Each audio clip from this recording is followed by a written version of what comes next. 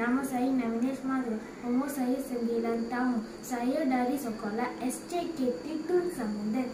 Hari ini saya membuat kad kreatif Hari Guru dengan menggunakan bahan-bahan biodegradasi seperti surat khabar lama, gam, gunting, kotak, tisu, kertas warna, kotak telur, fabrik dan barang hiasan.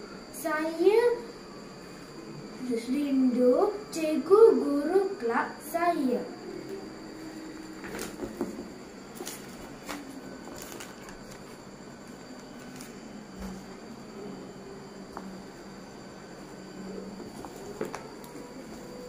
Sekian, terima kasih. Bye-bye.